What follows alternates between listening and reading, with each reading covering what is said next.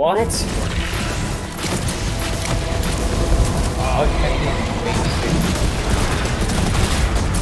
yeah, exactly. But who cares which one you get into? The point is you get to go to use that man up.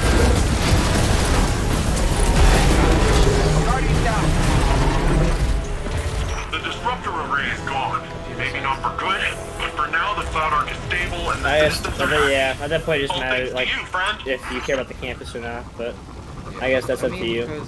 Because the option that I have is that I could go for first two years, I guess, or something. Dearborn, and then. What the hell is to that? The hell's Is that a balloon? Yo, Chinese What spy is this balloon? thing? Chinese spy balloon. Uh, I'm gonna stream. What's this dude just floating around?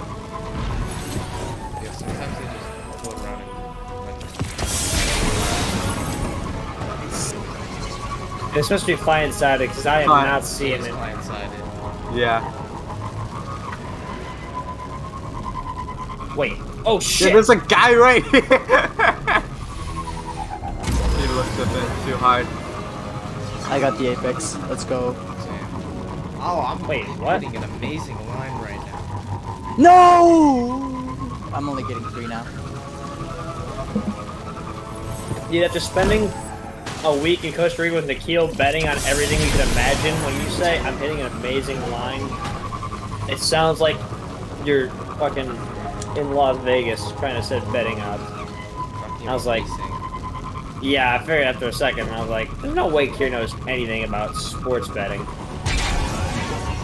guys should have. Oh, I thought you way. just meant cocaine. What'd you say? You guys should have just blown all your money on sports betting. You should have. No, we, Nikhil and I were talking about how we're gonna start like an underground sports betting bar where I sit behind the bar and he makes all the money lines, and then we'll move it from country to country. Did you get it? You get it? Uh, you get it? Taxes. Where you going? Oh shit.